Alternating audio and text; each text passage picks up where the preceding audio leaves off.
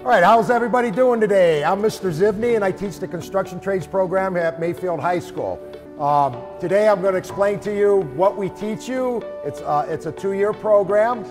Start out in your junior year and you'll finish it off in your senior year. So the first thing you guys are going to learn is more or less safety and how to handle and work with all the tools in a safe manner. When that's done, we go, we put our skills right to use. So what we do is we team up with our CAD engineering program and they develop our blueprints on what we're going to build. So what we do is we start right out with the block foundation. So you can see on the bottom of these there's concrete cinder block.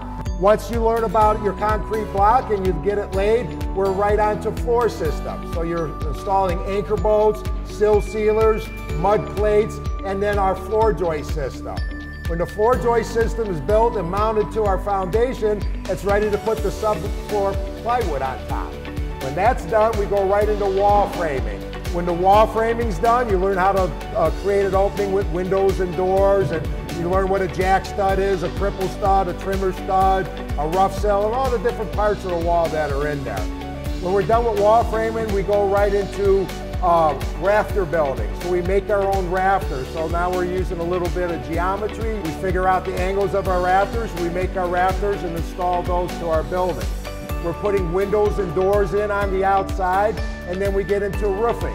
When the roofing's done, we go right to siding. We move into the inside. Once the siding's done, we get into our electrical and our plumbing. All of these units that we build are fully functional, meaning all the light switches work, the lights, the outlets, the water lines, your sinks. Now we're ready for drywall.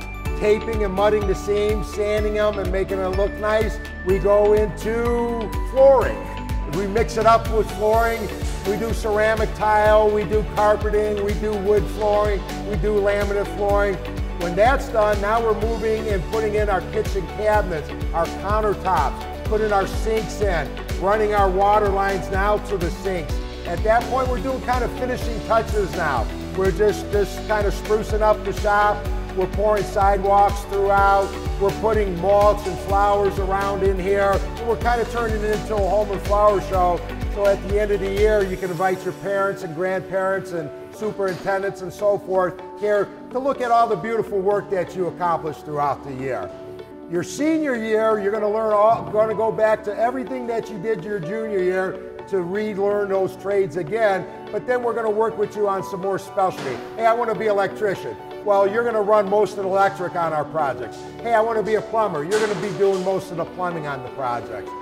Along the year two, besides learning how to do it new, we're going to teach you repairs, how to fix uh, a hole in the drywall, how to fix a piece of flooring that was damaged, how to fix a roof that a branch went through, and so forth. So many repairs to learn.